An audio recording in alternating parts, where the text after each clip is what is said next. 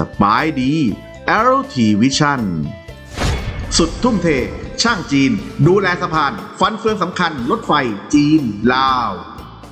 ครับหลังจากที่ LT Vision ได้มีการนำเสนอข่าวในเรื่องของรถไฟจีนลาว รถไฟลาวจีนมาแล้ว วันนี้จะนำภาพจากสื่อของจีน ของช่างซ่อมบำรุงนะครับ ที่ได้มาดูแลเส้นทางรถไฟสายจีนลาวนี้ ในซื้อเผิงปิงวัย 28 ปี เป็นช่างเทคนิครับผิดชอบงานซ่อมบำรุงสะพานข้ามแม่น้ำหยวนเจียง ซึ่งเป็นส่วนหนึ่งของทางรถไฟจีนลาวในมณฑลอิ๋วหนาน ทางตะวันตกเฉียงใต้ของจีน สะพานข้ามแม่น้ำหยวนเจียงมีความยาวทั้งหมด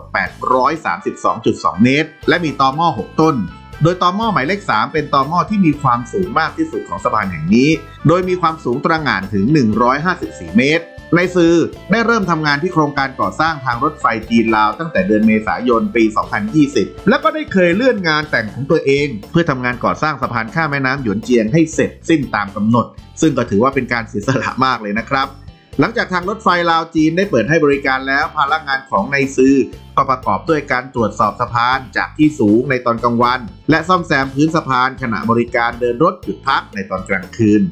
ซึ่งในซื้อและเพื่อนร่วมงานจะยังคงปฏิบัติงาน ระหว่างช่วงเทศกาลตรุษจีนในปีนี้ด้วยนะครับ เพื่อรักษาความปลอดภัยให้กับคมนาคมขนส่งบกทางรถไฟสายสำคัญนี้ด้วย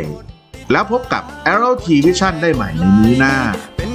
สบายดี